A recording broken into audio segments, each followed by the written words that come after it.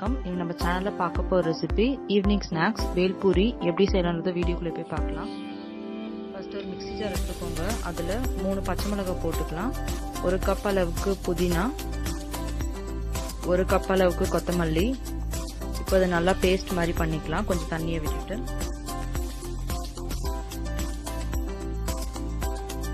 இப்போ ஒரு பவுலுக்கு இதை மாற்றிடலாம் பேன் எடுத்துக்கோங்க அதில் ரெண்டு கப் தண்ணி நார்மல் வாட்டர் ஆட் பண்ணிவிட்டு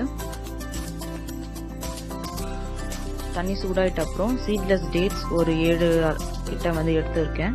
அப்புறம் ஒரு கப் அளவு புளி. ஒரு மூணு நிமிஷம் கிட்ட இது நல்லா கொதிக்கட்டும். கடைசியாக வந்து பாதி கப் அளவுக்கு வெள்ளத்தை சேர்த்துக்கலாம். வெள்ளத்தை சேர்த்துட்டு ஸ்டவ் ஆஃப் பண்ணிடுங்க. அது நல்லா ஆறுனதுக்கப்புறம் நம்ம மிக்சியில் வந்து அதை நல்லா அரைச்சிக்கலாம். கொட்டை இல்லாமல் பார்த்துக்கோங்க. டேட்ஸ்லேயும் புளிலையும். இப்போது நல்லா அரைச்சிட்ட அப்புறம் ஒரு ஃபில்டர் பண்ணி நம்ம அதோட ஜூஸ் மட்டும் எடுத்துக்கலாம்.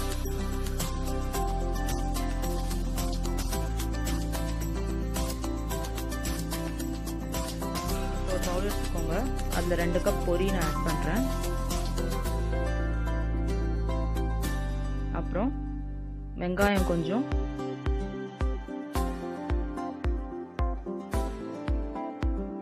தக்காளி எல்லாம் நல்லா சின்னதாக நறுக்கி வச்சுக்கோங்க.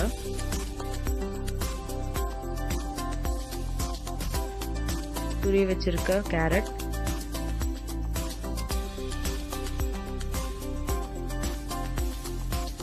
ஓமப்பொடி மிக்சர் கொஞ்சம் ஆட் பண்ணிக்கலாம்.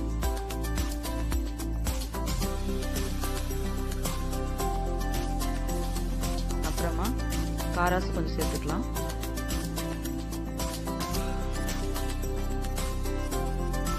நம்ம பண்ணி வச்சிருக்கிற புதினா சட்னி ரெண்டு ஸ்பூன். புளி சட்னி ரெண்டு ஸ்பூன்.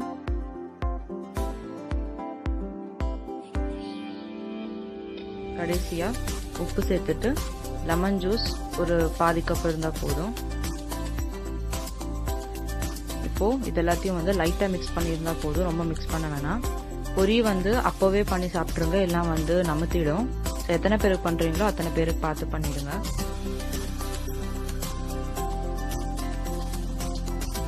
உங்களுக்கு இந்த ரெசிபி பிடிச்சிருந்தா like subscribe and comment to Gayathri's kitchen corner எல்லாருக்குமே ஃபேவரட்டான ரெசிபி இது. ஸோ ஈவினிங் ஸ்நாக்ஸ் கண்டிப்பாக ட்ரை பண்ணிவிட்டு உங்களோட கமெண்ட்ஸ் எனக்கு சொல்லுங்கள் தேங்க்யூ ஃபார் வாட்சிங்